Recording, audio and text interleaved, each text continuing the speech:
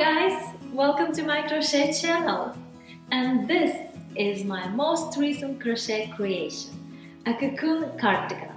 I'm sure you've seen crochet cocoon cardigans before, they are quite popular right now. But this is the first ever cocoon cardigan that I've made. The stitch that I used is the same that I used for a scarf not long ago, but you can see that it looks quite different and that's because it's a different yarn and it's a completely different project. You can make this cardigan in any size you want. I will post the measurements for different sizes in the description box below.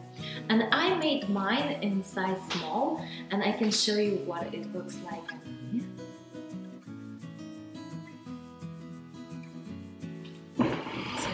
a little. It's very cozy and warm and I really really love it. To make my cardigan I used about 2000 yards of impeccable yarn by loops and threads and a hook size H 5 millimeters. The amount of yarn you will need for your specific size might be different it will be somewhere in between 2000 and 4000 yards depending on how large the size is. I made this cardigan for myself in size small, so I started with a chain 38 inches long. To make a cardigan for your size, check the sizes and measurements in the description box below and start with a chain as long as you need, but make sure that that chain is divisible by 5. For my small sample size cardigan, I will start with 60 chains.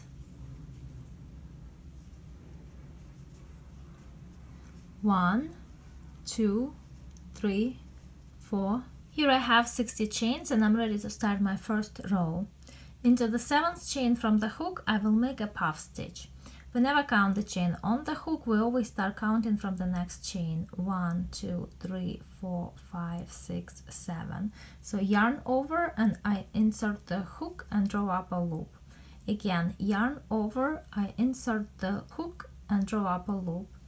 One more time and one more time.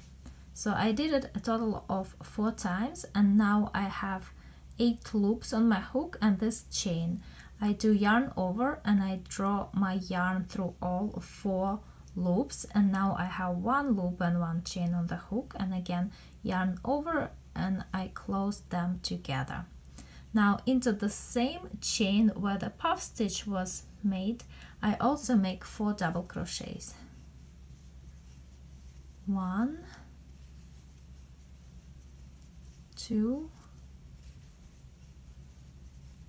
three, four. Now I skip four chains one two three four and into the fifth chain again I will work a puff stitch and four double crochets. One two three four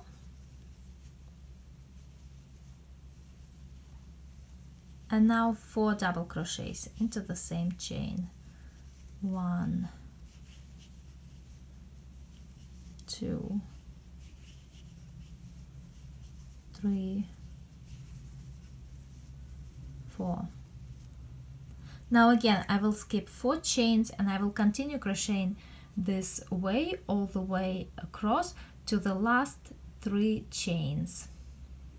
And also I want you to note here that when you work into one chain, when you work a puff stitch and double crochets, the next chain becomes very small and very difficult to see. So make sure you are skipping four chains and not five. Here I am at the end of this row. I only have three chains left. So I skip two chains and I make a double crochet into the last chain.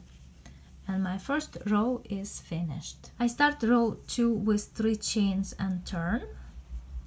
And now I will work into the space in between the two stitches of the next group of stitches right here. This is the space in between two double crochet so first I work a puff stitch.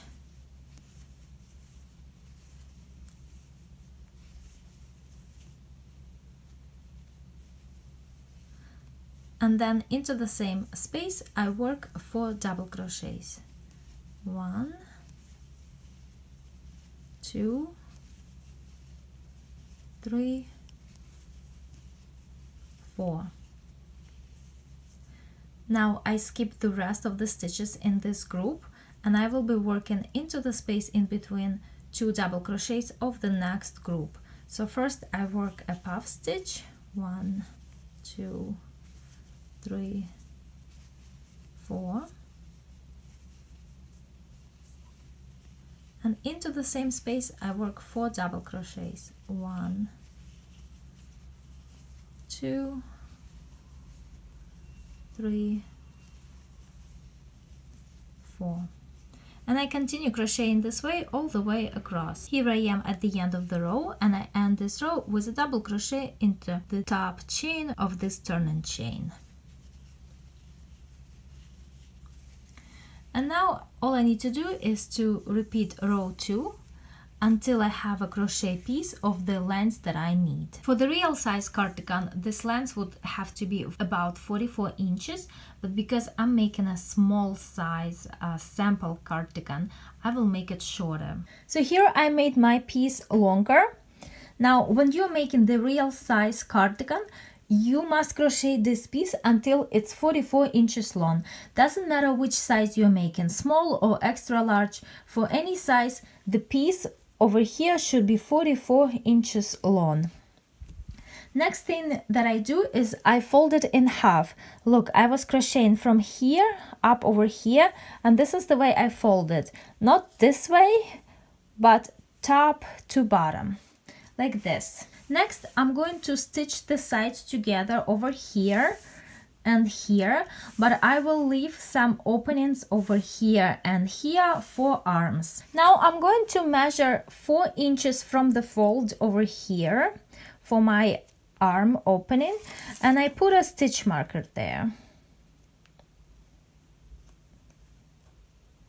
And I do the same thing on the other side. Again I measure four inches from the fold and I put a stitch marker. Now for my sample cardigan, I measured 4 inches, but when you are making the real size cardigan, leave 7 inches on each side for the arm openings, 7 inches. And it doesn't matter what size you're making, either size small or medium or large. For any size, you leave 7 inches over here for the arm openings. And now I'm going to stitch along this side using single crochet. So I'm going to stitch these two pieces together. But first I'm going to hide this yarn tail so it's not in my way. And then I will start stitching the sides together. So now I'm ready to start stitching. I make one chain and I use single crochets. I stitch along the sides evenly. I don't really count the stitches, but I just keep an eye to make sure that it's not too tight, not too loose. And just using single crochets, I crochet along the sides. You can use slip stitches instead of single crochets. You can even use a tapestry needle to stitch the sides together. It's really up to you. On my cardigan, I used single crochets. So I'm going to continue crocheting this way all the way to my stitch marker and at that point I will fasten off. So I got over here, I fastened off, I hit the yarn tail and now this is my arm opening and this side is stitched together. And I'm going to do the same thing on the other side. I will attach my yarn over here and crochet this way using single crochets up to the stitch marker. So now I have both sides are stitched. And I turn my cardigan inside out. And I fold it like this. Actually this way so this is how it's going to be worn. This is going to be around the neck. these are the openings for the arms and this is gonna be this would be the bottom part like this so now we need to work on the edging over here oh, and you can see that the on the other side the stitches look quite nice using single crochets on the inside and that's what it looks like on the right side of work now I'm going to attach yarn over here at the seam and I'm going to crochet around this whole opening. So over here I attach the yarn at the seam and I'm ready to start crocheting around the edging. I make one chain and now I will use single crochets. Here is how it goes here. Over here I have a chain space and into this chain space I make three single crochets. One, two, three. Next I have the space where the puff stitch was made and into the same space I make one single crochet.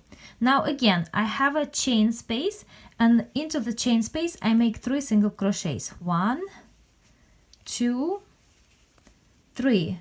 And again here is the space with the puff stitch. Into that space I make one single crochet. Now again three single crochets over here one over here. Three into the chain space one into the space with the puff stitch. And I continue crocheting this way until the pattern is going to change. You will see in a moment. So here I am at the seam and over here the pattern changes. As you can see here goes upside down and here it goes uh, right side up. So what I'm going to do here is to make four single crochets basically into each stitch over here so that the amount of stitches throughout is gonna stay the same. On this side I made four stitches per pattern repeat three into the chain space and one into the puff stitch. And over here I will also make four stitches per pattern repeat. Like this I make the first single crochet one then the next one two three and four. And again into the next pattern repeat one, two, three, four. And again, one, two, three, four, and I will continue this way until I get back to the point where I started this round. Now I got to the beginning of the round and I simply join it with a slip stitch. I'm starting my next round with three chains, one, two, three, and these three chains will count as my first double crochet. And now I'm going to work a double crochet into each single crochet around. So this round is quite easy. I'm simply working double crochets.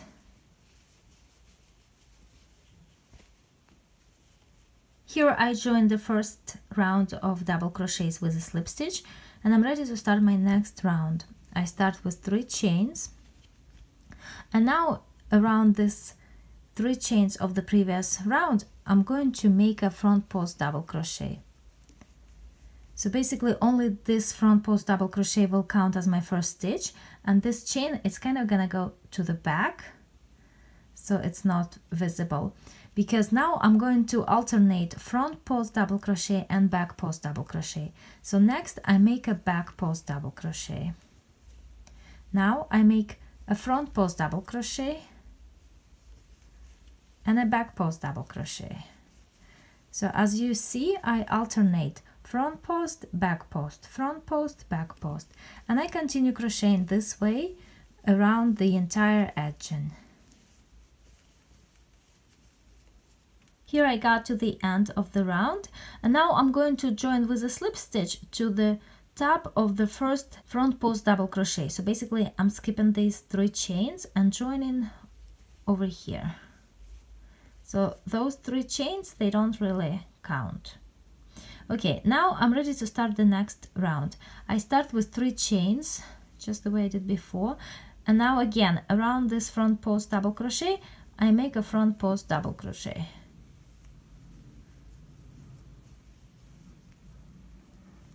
And next, I make a back post double crochet around the next back post double crochet. Now again, I will crochet alternating front posts and back posts, back post double crochets. And I just make one more round like this. and at the end of the round I join with a slip stitch again in top of the front post double crochet not the chain like this and now I'm going to fasten off and hide the yarn tail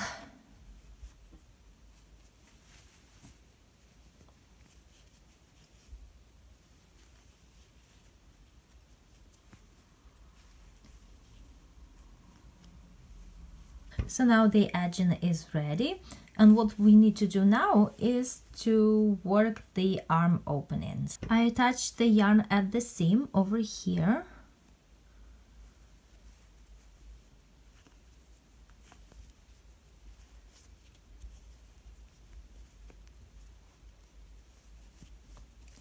And now I'm going to work single crochets around the arm opening. I make one chain and now I start working single crochets. So right here it looks like I'm working into the end of rows. So into each end of row I will make two single crochets. One two. Then into the next end of row I make two more again over here I have the end of row and I make two single crochets. And again two single crochets. One two. Over here is the end of row and I make two single crochets. And I continue crocheting this way around the arm opening. So here I crocheted all the way around and joined with a slip stitch to the very first single crochet. Now I'm going to work my cuff of the arm opening exactly the same way I worked the edging over here. Next round I'm going to make a round of double crochets and then I will make two rounds alternating front post double crochet back post double crochet. Front post double crochet back post double crochet. Basically I work exactly the same way the way I work the edging over here. So here is the finished cuff of my arm opening. I will fasten off and hide the yarn tail and on the actual cardigan it will be slightly wider maybe like this. But on my sample cardigan it's about this big. Now all I need to do is work the other one exactly the same way